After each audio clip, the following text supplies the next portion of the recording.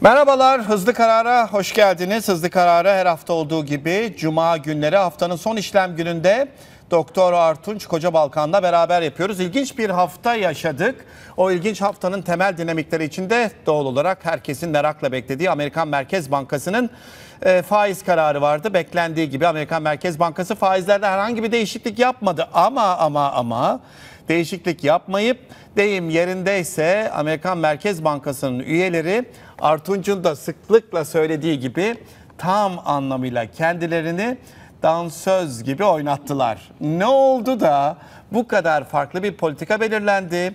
Ne oldu da bilançodan faiz artışına kadar bu kadar net ve sert fikir değişiklikleri oldu? Sevgili Artunç hoş geldin. Hoş bulduk Cem. Ee, şimdi sen söylüyorsun hep yani bu Merkez Bankası'nın yönetimi e, bambaşka bir oyuna doğru evrildi. Bir, üç tane soru soruyorum şimdi. Fed'in kararından sonra faiz ben bu sene açıklamayacağım dedi 2019'da yükseltmeyeceğim. Bilanço ile ilgili verilere bakacağım. Ee, üçüncüsü biz bundan sonra o kadar da eh, yani şahin bir çizgide olmayacağız. Çünkü enflasyon da istediğimiz kadar iyi gitmiyor dedi. Ne demek? Yani bu viraj, bu sert dönüş, U dönüşü tam da Trump'ın istediği gibi fotoğraf. İlk defa Trump'ın istediği gibi düşük dolar, ilk defa Trump'ın istediği gibi son derece uyumlu bir Fed başkanı. Ne demek, ne anlama geliyor? İşler çok kötü demek. İşler çok kötü demekten kastım da şu esasında.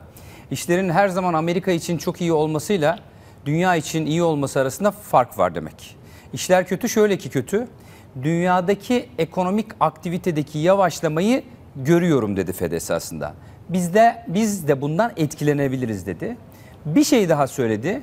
Biliyorsun Fed e, başkan yardımcıları değişmeye başladı ve e, Trump'ın atadığı bir başkan yardımcısının içerisinden güvercin çıktı.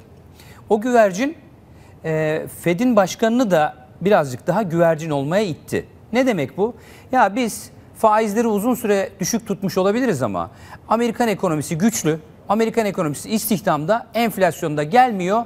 Biz teknolojideki değişiklikle birlikte belki de enflasyon yaratmadan bu işi çözeriz diye düşünmeye başladı. Ben buna katılmıyorum. Piyasada çok katılıyor mu katılmıyor umurunda değil. Şunu söylemiş oldu esasında piyasaya. Ben faizleri arttırmak noktasında enflasyonu görene kadar bekleyeceğim. Enflasyon geldiğinde ne yaparız? O zaman bakacağım. Şu anda 2019 için bir faiz arttırımı gözükmüyor. Ama burada önemli olan şey şu. Bak. Amerika Birleşik Devletleri'nin ekonomik aktivitesi de bundan olumsuz etkilenebilir dediği şey dünyadaki ciddi durgunluk. Avrupa'da durgunluk, Çin'de durgunluk, orada durgunluk, burada durgunluk. Esas sorun şu. Fed bunu dedikten sonra ne oldu? Fed bunu dedikten sonra gelişen piyasa para birimleri evet rally ederken Türk lirası çok fazla etmedi. Euro dolar paritesi 1.14'ün üstüne gitmişken döndü tekrar 1.13'lere. Amerikan borsaları öyle hızlı yükselişler gösterirken döndü acaba ne yaparız diye.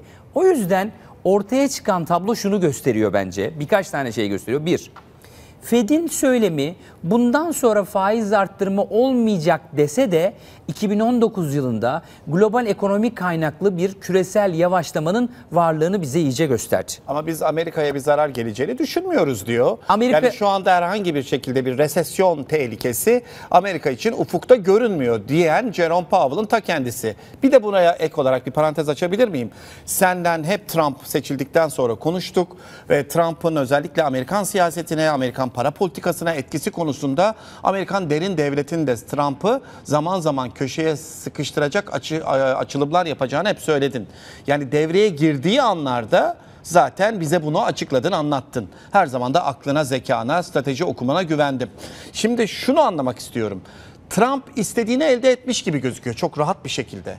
Hiç bu kadar e, bir güvercin Amerikan Merkez Bankası görmemiştik. En güvercin beklentilerini bile, en güvercin söylemleri bekleyenleri bile şaşırtacak kadar bu toplantıda yumuşaması, yani biz bu sene faiz arttırmayacağız noktasına kadar gelmesi Trump'ın elinin gerçekten güçlendiği anlamına geliyor mu?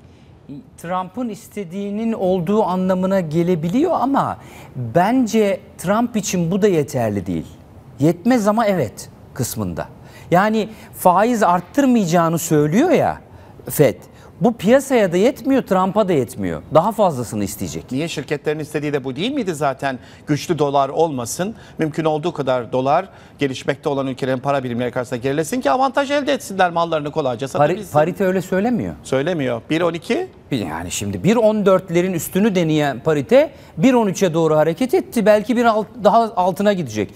Bu da üst- bir de üstüne üstlük biraz Türkiye kaynaklı bir gelişen piyasalar hafif olumsuzluğu krizi tetiklenmiş gibi Şimdi ne gözüküyor. oluyor? Şimdi o kadar yüksek yüzde iki buçuğun üzerinde bir artış var dolarda.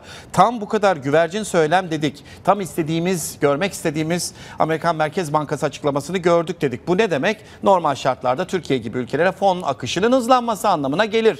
Gayet güzel, rahat bir piyasa. Şimdi yüzde iki, iki buçuk artış, sert yükselişler.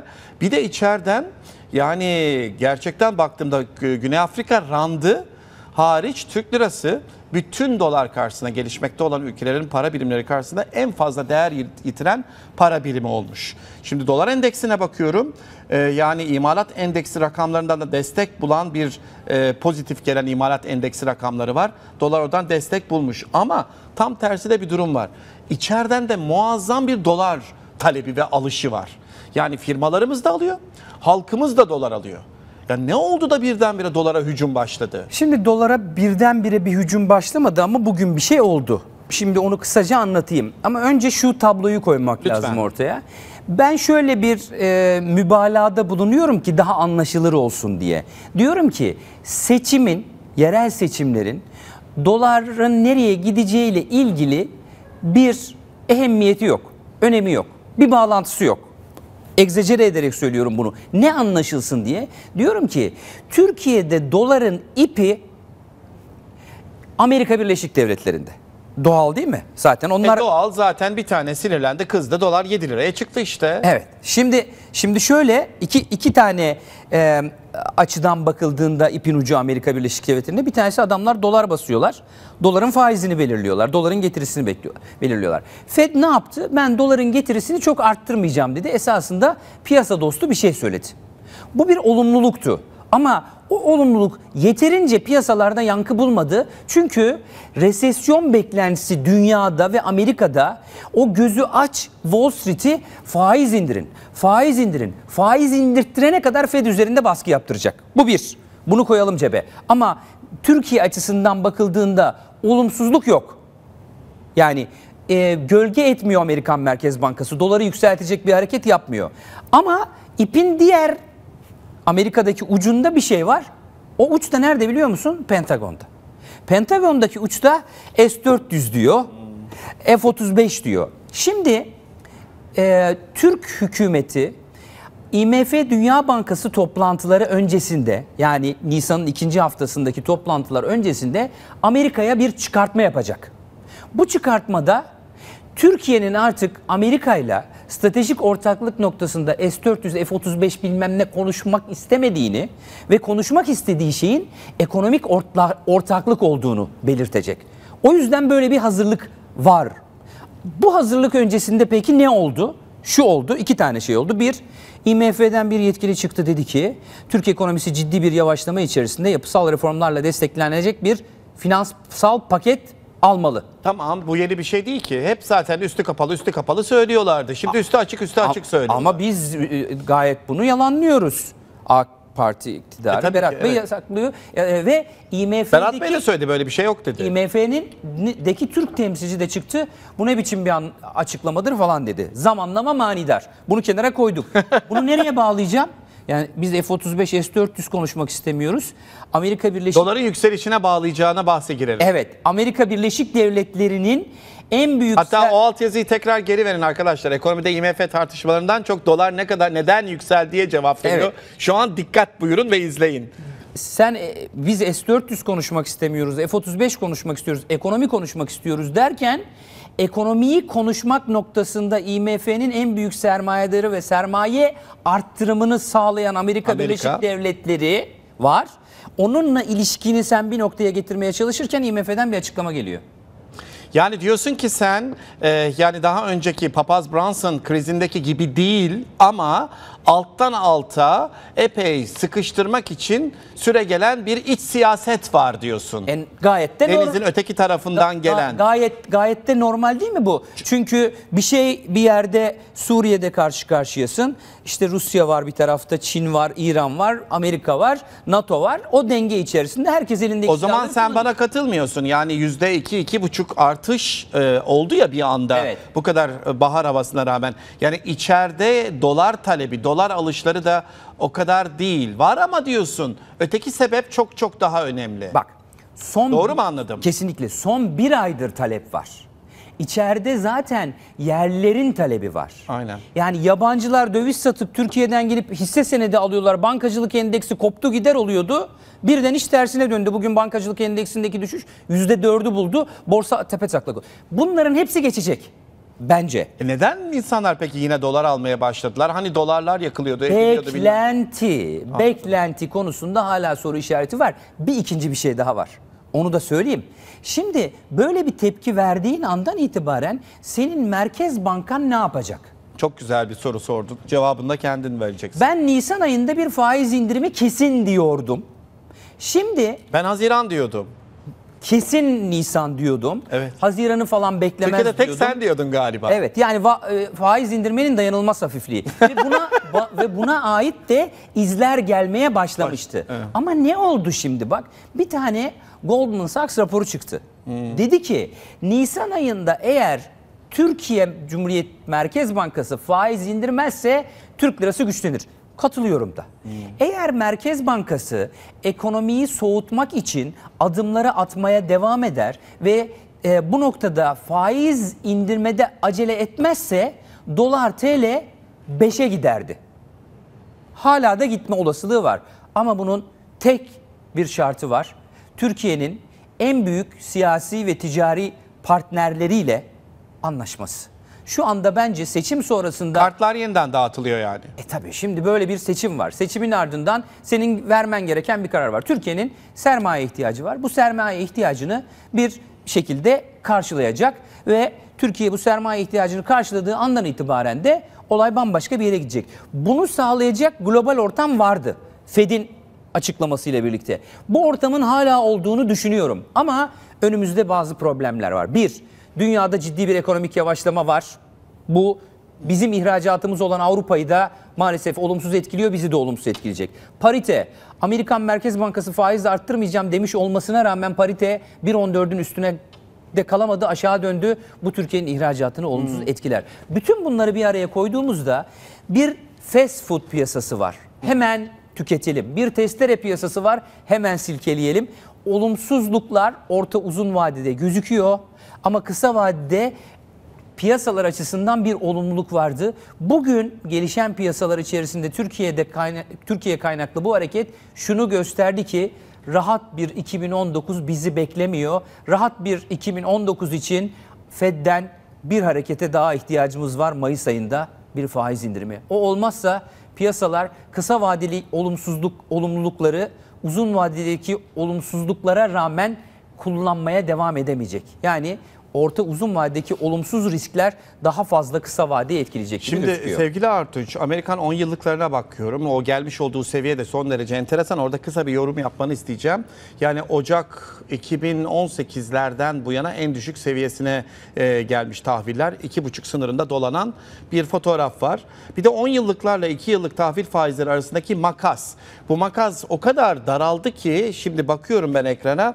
Yani resesyon e, söylentisi yapanları da e, bir Göz- taraftan haklı destekler. çıkarıyor aslında. Tabii, tabii. Yani yani iyi gelen imalat endeksi verisi e, doları beklenenden biraz daha fazla destekledi desek de senin şimdiki açıklaman aslında bizim negatif ayrışmamızın temel dinamiklerinde ortaya koyuyor. Çok net. Şimdi şöyle bir durum var. Sabah yayınımda da söylemiştim. Sen 2019'da biraz daha karamsar bir e, gelecek beklentisi içine girdin. Çok da realist. Ben de diyorum ki onu değerlendirmeni isteyeceğim. Ben de diyorum ki 2019 Türkiye gibi bir ülke için aslında bu gelen üstümüze gelmekte olan çığ e, bir avantaja da dönüşebilir. Şimdi yapısal reformlara getireceğim konuyu. Yapısal reformların e, seçimden sonra hayata geçme ihtimalini görüyor musun? Yapısal reformlar olsa diyorum ki bak Türkiye imalat e, yani aramalı ithalatından tut da ham madde ithalatına kadar dışa bağımlı bir yapı işte. Dışa bağımlı yapı olunca dolar 6'lara 7'lere çıkınca sanayimiz çöküyor. Sanayi üretimini gördün. Çünkü alamıyor dışarıdan. Zaten %15-20 karla çalışıyor bizim sanayimiz. Yani eğer dolar da yükselirse dışarıdan mal alırken o %15-20 kar da gidiyor. Yani biz zaten içeride aramalı ithalatı yapmadan içeride kendi üretimimizi yapsak katma değerli üretime geçsek, katma değerli üretimle ihracatımızın temel yapısını yani üretim modelimizi değiştireceğimiz, bir mantalitemizi değiştireceğimiz, bir e, acaba e, yapısal reform şansı bizim için çok muazzam bir açılım olmaz mı? Ya e, bu, bu söylediğin o kadar önemli ki bazen zor şeyleri yapmak için olumsuz dönemler büyük fırsattır. Çünkü insanlar görürler ya bir şey yapmamız lazım diye. Çünkü rahat zamanda çok fazla bir şey yapmazlar. Hani Akdeniz toplumları niye biraz gevşek? Adam siesta yapmak istiyor. Uyumak istiyor. Evet. Onu zorlayan bir şey yok ki. O yüzden şöyle e, top Siesta yapabilirdi o bak. Zamanında adam çalışmış. Sermayesini bankaya koymuş. kim o Şimdi, siesta yapabilecek? Sömürge onlar ya. Ne çalışması? Ya zamanında Zamanında sömürmüş desen E anlayacağım. Canımın içi zamanında adam onu sömürmüş, bunu sömürmüş. Yani senin Sömürmüş, Osmanlı olmuş. donanman Akdeniz'de dolaşırken adam Magellan'dan ümit burnunu bulmuş. Baharatlarını getirmiş, satmış. Afrika'yı sömürmüş, Asya'yı sömürmüş. Parayı da Merkez Bankası'na istiflemiş mi? İstiflemiş. Senin paran olmadığına göre tek tek yatırım bankalarının kapısını çalacaksın. Bana düşük faizle kredi ver diyeceksin. Adam geçmiş dönemde sömürdüğü ülkelerin rantını yiyor mu? Yiyor. Yiyor. Şimdi yatıyor aşağı. Yiyor. Yattığı için de Almanya dahil olmak üzere şu anda bak yine resesyon tehlikesiyle Ha, karşı bak, karşıya. bak. Avrupa'dan ışık yükseliyor mu şu Ha, anda? ha, şimdi bak güzel nokta bu. Adamlar vakti zamanında yaptıklarını yiyorlar. Tamam mı? Bu, bu doğru. Hazıra daha dayanmaz. Dayanmıyor Avrupa'nın durumu ortada. Almanya'nın buntlarına bak, tahvillerine. Orası son 20 yılın en en en düşük seviyesine geldi. Resesyonun Allah'ı orada olacak diyor. Şimdi ben sana bir şey söyleyeyim. Esasen tablo şunu Al, göstermekte. Almanya 10 yıllıkların faizi 2016'dan beri ilk kez sıfırın altını gördü. Bak tamam. Şimdi e, senin için çok kötü bir haber bu. Çünkü biz oraya ihracat yapıyoruz. Parite de aşağı gidiyor. Şimdi sözün özü Türkiye'de şöyle bir durum var. Türkiye yapısal reformlarla destekli bir finansman paketini bulmak durumunda. Finansman bulacak. Tamam mı? Uluslararası likitte koşulları çok bozulmadığı hak takdirde Türkiye bu finansmanı bulur. Nasıl bulur? O dediğin yapısal reformları yapacağım diyerek. Zaten Amerika'ya, IMF, Dünya Bankası toplantılarına gidip oradaki yatırım bankalarına sunum yaptığın zaman o bir güzellik yarışmasıdır. O güzellik yarışmasında Aynen. Türkiye gibi geleceği güzel olan, ilerledikçe hani şarap gibi olan bir Aynen. e, Gittikçe güzelleşen, güzelleşen bir tadı oturan. ülkeye, ekonomiye yatırım çekmek gerekir. Şimdi burada bir tek şey var. 2 kere 2 4. Zamanında soru işaretleri ve belirsizlik Türkiye'ye ilişkin hak edilmediği oranda artınca Merkez Bankası da faiz arttırmakta geç kalınca kur 7 oldu. Gittik 6 puanın üzerinde üst önündeki faiz artırımı da koy 10 puan faiz arttırdık. Şimdi diyorum ki faiz indirmekte eğer acele etmezsek yapısal reformları yaptırdığımız takdirde zaten dünyada faizler düşüyor. Bizde de yavaş yavaş aşağı gelmeye başlar. O yüzden söyleyecek bir şey yok. Senin söylediğin çok doğru. Tek yapılacak şey var. Yapısal reformlarla desteklenen bir e, finansman. paketiyle birlikte seçim sonrasında isterseniz dolar TL'yi 5'e de çekersiniz. Ama çözemeyeceğimiz bir şey var. Gemimizi gemimizi bu çalkantılı suda yavaş yavaş yani ekonomi gemisini limana yanaştırmak lazım. Çünkü çok büyük bir dalga geliyor. Ekonomik aktivitede çok büyük yavaşlama geliyor. Bu önümüzdeki dönemde e, denizdeki dünya ekonomisindeki çalkantıların devam edeceğinin en büyük göstergesi. Sevgili Artur çok teşekkürler. Söylediklerinin altını şöyle kendimce doldurayım. Kısaca süremiz de bitmiş. Sabah benim yeğenimin doğum günüydü Doruk'un. Ne güzel. Ee, doğum, doğum günü olduğu için e, ona bir sürpriz yaptım. E, Dünya Su Günü'ymüş bugün. E, su günü için e, bir sunum hazırladık ondan. Şimdi çocukları gördüm ben e, bir ilkokulda. Yani hep senden konuşuyoruz ya eğitim, eğitim, katma değerli üretimin temelinde eğitim var. İnanılmaz çocuklar. Müthiş zeki. Yani sorduğum sorulara o kadar mu- muazzam cevaplar verdiler ki. Çocuklar çocuklar çok zeki doğuyor zaten. Yani devletin yapması gereken sadece bu zeki çocukları alıp hamur gibi şekillendirmek ki içinden en iyi potansiyeli kimin neye yeteneği varsa ayırt edebilmek. Yani bu nitelikli insan gücü için muazzam bir şey. Yani Türkiye dediğin gibi e, hakikaten şarap gibi zaman geçtikçe güzelleşen muazzam bir ülke. Müthiş bir insan kapasitesi var ve gençler yani doğuştan çok Akdenizli yani yaratıcı, açık, Girişken. fikri, girişken, heyecanlı, cesur.